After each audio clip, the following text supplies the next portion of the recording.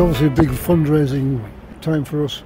We have a big uh, flag day on Saturday, but the the week preceding the um, Remembrance Sunday, we have a stand in Waitrose and the Rohays and have a stand here just to get people into the swing of it before the um, before the flag day.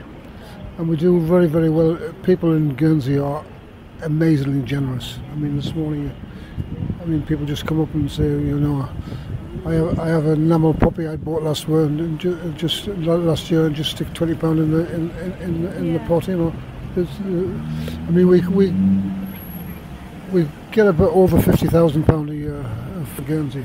Sometimes it's been it's been nearly seventy thousand. That's So- a, a huge amount of money, Yeah. but where does it go? Well, we are allowed to keep as much as we want in Guernsey for Guernsey ex-servicemen and their families, and we do use a lot. I mean, in the last three years, the welfare team have dealt with over 60 cases, and we also they've also recently set up a, a psychology um, support service, um, and and that's obviously got a cost implication and but as I say, we're allowed to keep as much as we want in, in, in Guernsey.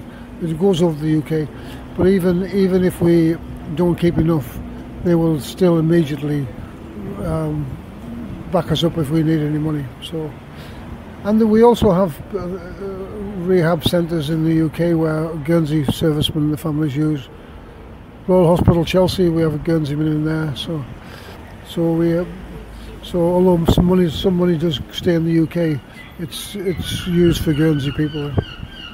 I mean, do you think people appreciate then the, the breadth of the work that the Royal British Legion does?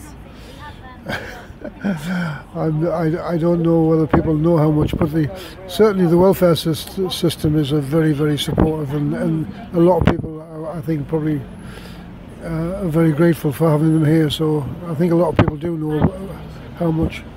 Um, they, I mean, it's a small team. It's a team of five, but um, they're, they're constantly employed. I mean, a lot of it is just um, what they're doing now is, is mainly signposting to, you know, just giving people advice. Yeah. But um, a lot of it is, is financial assistance and um, and of course psychological support.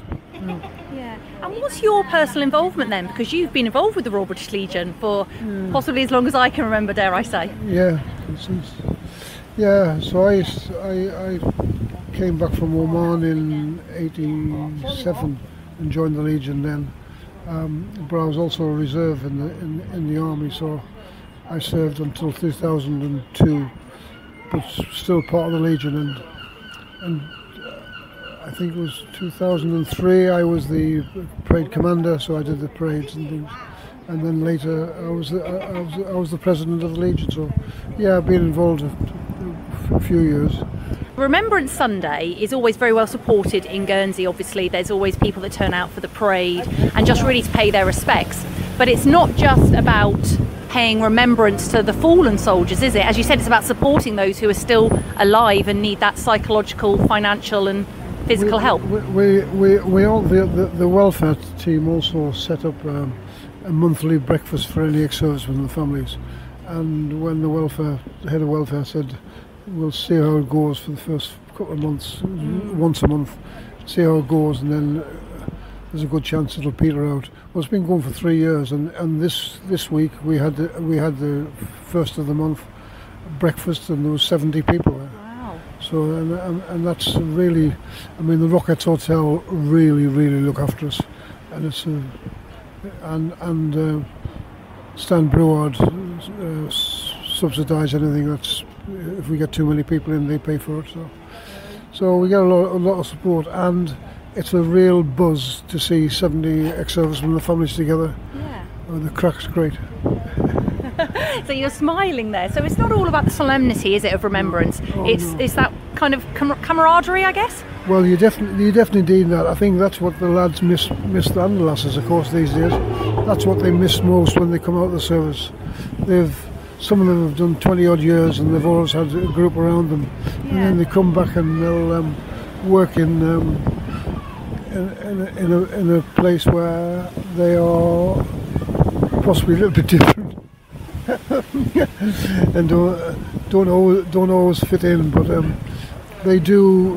Um, I mean, they did bring a lot of teamwork to to outside um, establishments, but there is also the lonely element of not having your mates around you.